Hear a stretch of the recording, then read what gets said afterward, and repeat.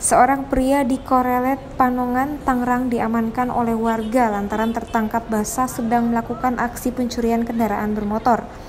Warga yang geram langsung memukuli pelaku serta menelanjanginya. Anggota kepolisian yang tiba di lokasi segera mengamankan pelaku agar warga tidak melakukan aksi main hakim sendiri. Dari Tangerang, tim liputan melaporkan.